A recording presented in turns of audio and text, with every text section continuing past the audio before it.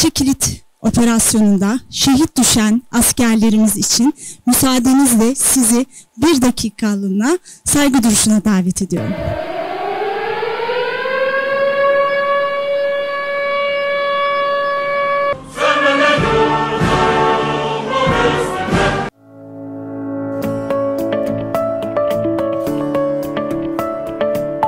Siyasetçi, araştırmacı, yazar paşamız Türker Ertürk. Hoş geldiniz.